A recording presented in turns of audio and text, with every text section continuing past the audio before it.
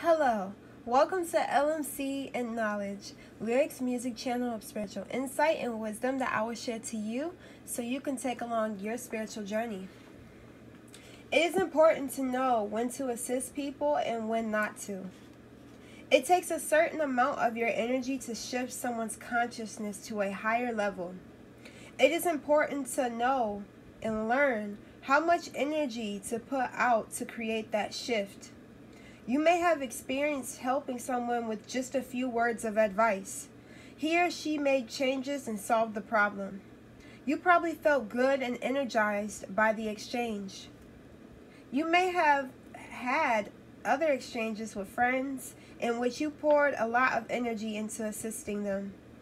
But their recurring problems never got solved.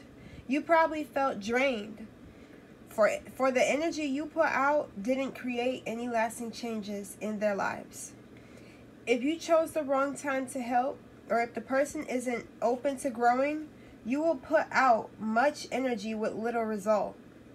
You also need to learn how much energy you are capable of shifting so that you do not take on more than you can handle. Are there people you are sending a lot of energy to and who aren't growing or who feel like burdens to you in some way. In your mind, imagine you are putting these burdens down. Turn these people over to their own higher selves to help them grow. Send them light and release your responsibility for making their lives work. Some of you will know you are carrying people because you have shoulder and back problems. Dang. Often your back hurts because you are carrying too much responsibility and too many burdens that are not yours. The higher your consciousness, the higher your consciousness is, the more of a penalty you pay for putting your energy where it doesn't create a shift. You may feel tired or drained or even get sick.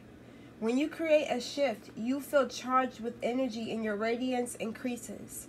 As you grow, you will want to be increasingly alert to whom and what you are putting your time and energy into, and the result you are aren't creating. If people feel like burdens, it is a sign that carrying them is slow carrying them is not for your higher good. You may be taking away their lessons and slowing down their growth. They may become dependent on you and stop taking responsibility for making their own lives work. People who are growing rapidly from your assistance will not feel like burdens.